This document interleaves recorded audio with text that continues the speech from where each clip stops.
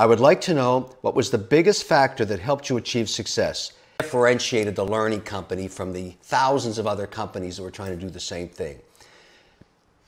I want to, I want to talk about a concept in life and business and entrepreneurship called pivoting.